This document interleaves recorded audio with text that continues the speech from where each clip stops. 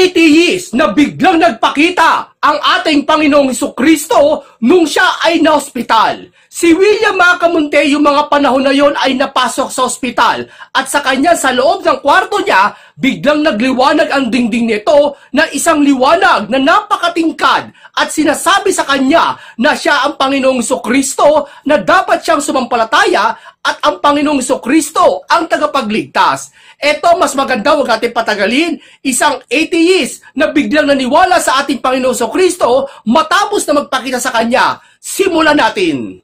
Nakita ng isang atheist si Jesus sa isang kwarto ng ospital habang siya ay nakikipaglaban sa karamdaman. Ang patotoo ni William Wood ay isang uri ng kwento ng isang atheist meets Jesus. Hindi siya naniniwala sa Diyos hanggang sa literal niyang nakita si Jesus mismo nasa loob ng ospital.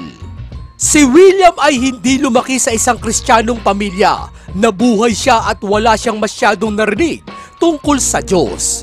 Siya ay lumaki sa Alabama. Sa lugar na yon, puro simbahan ang kada sulok, ngunit wala siyang nakakasamang mga Kristiyano. Sabi ni William, ang tanging pagkakataon na narinig ko ang pangalan ng Diyos o anumang katulad nito ay nasa konteksto ng isang sumpa na salita dahil niya isa siyang atheist o hindi naniniwala na may Diyos. Ika niya, para sa akin noong bata pa ako, pinatunayan niya sa akin na hindi totoo ang Diyos. Tinanong niya ang kanyang sarili na kung ang Diyos ay totoo, kung ganon, bakit ang kanyang mga tao ay hindi nabubuhay na parang siya o ng Diyos? Sabi niya sa kanyang salaysay, sa tingin ko, maraming mga kristyanong ateista sa labas. Sa madaling salita, naniniwala sila na may Diyos, ngunit namumuhay na parang wala siya.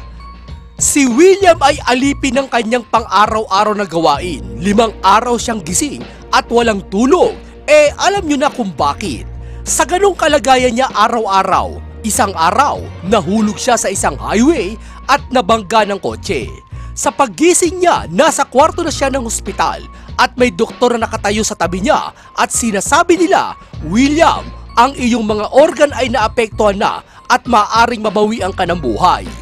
Sa lugar na tinitirahan ni William ay may komunidad na may halos 2,000 katao lamang.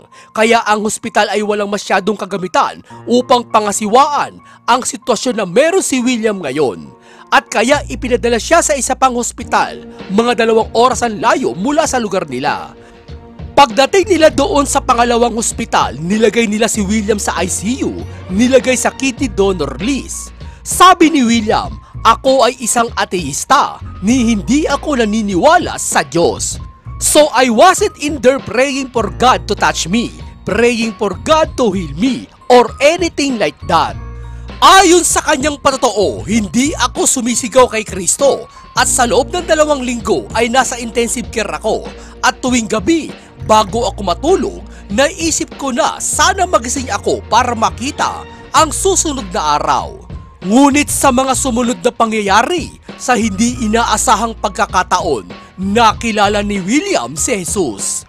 Sa kanyang paggising mula sa kwarto ng hospital, isang maliwanag na liwanag ang nabuo sa harap mismo ng kanyang kama habang nakikita niya ang liwanag, nag-flashback lahat ang kanyang ginagawa araw-araw. Sa pagkakataong iyon, isang pangitain at ang kanyang kapaligiran at presensya ay napakaraming pagmamahal na nagmumula sa liwanag ng kanyang nakita. Habang may liwanag, nakita niya may nakatayo sa kanyang kwarto at nang nakita niya ito, nagsimulang manginig ang buong katawan niya.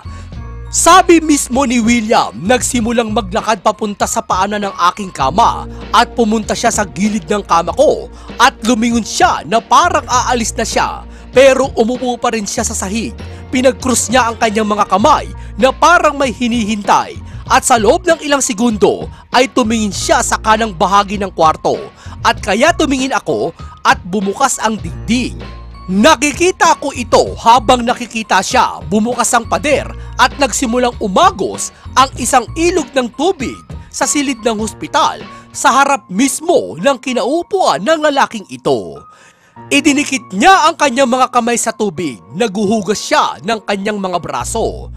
At isang naririnig na tinig ang nagsalita sa akin at nagsabi, Ang tubig na iyong nakikita ay maglilinis at maglilinis sa iyo kung tatanggapin mo si Jesus na Kristo bilang Panginoon at tagapagligtas.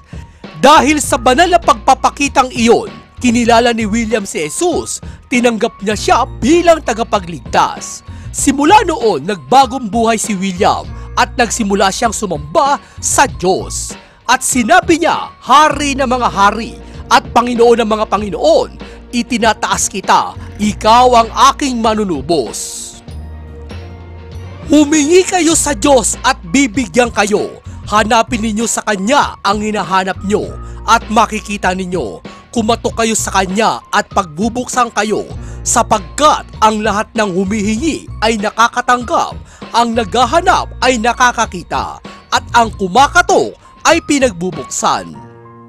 Ngayon mga kamunti, ito po ay hindi galing sa akin o hindi ito ay inimbento ko na kwento. Ito po mismo testimony uh, pinarating sa atin na sinaling ko lang sa ating pagkakaintindi ating wika na ito nangyari sa totoong buhay sa kanya. No? Mga kamunti, nangyayari talaga sa buhay ito, lalo sa mga hindi naniniwala sa ating Panginoon Diyos, na meron talagang Diyos na lumila, lumikha ng lahat ng bagay. Ngayon mga kamunti, sabi ko nga, mas madaling idepensa ang bagay at mas madaling idepensa na, nanin, na, na, na totoo ang Panginoon Diyos kaysa sa hindi totoo. Napakahirap hanapan ng ebidensya na para sabihin natin na hindi totoo ang Diyos. Ngunit napakadaling ebidensya na mailalabas natin na talagang totoo at tunay ang Panginoon Diyos. No? Hindi lang sa Biblia, maging sa damdamin, maging sa karanasan, sa mga testimony, napapatunayan po yan, no? O paano, maraming maraming salamat, Proud Muntinlupa, Proud Pilipinas, hanggang sa susunod, paalam!